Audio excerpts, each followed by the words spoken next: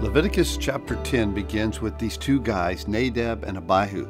They come to the Lord in a way that was not approved or accepted by the Lord. The Bible calls it strange fire. Listen to these verses. Nadab and Abihu, Leviticus chapter 10, verse 1. The sons of Aaron, each took his censer and put fire on it, put incense on it, and offered profane or strange fire before the Lord which he had not commanded them to do. So fire went out from the Lord and devoured them, and they died before the Lord. So this chapter is really about God's holiness, God's boundaries, God giving us a way to know and how to approach a holy God who's without sin. Listen, God has said, Whosoever will may come, and He's not willing that any should perish. John 3:16, God so loved the world that he gave his only begotten son that whosoever. So here's the deal. All may come, and we can come just as we are, but we don't get to come our own way. We only come the way he provided. Jesus said, I'm the way, the truth, and the life.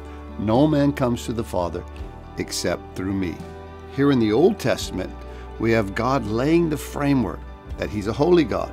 He says, Come just as you are but come the way I've prepared for you. And you can only come to Him through the sacrifice He has given, His Son, Jesus Christ.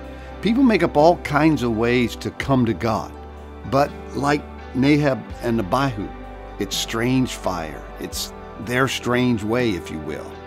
Jesus is the true door, the way God has given to all of us to enter into everlasting life with Him.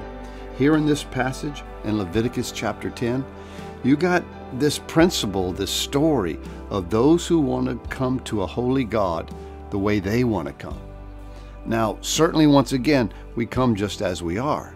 But Scripture plainly says, and Jesus himself would say it many times, there's only one way to the Father, and that's through his sacrifice of his Son, Jesus Christ. You can't do the Nadab Abihu way, you can only do his way.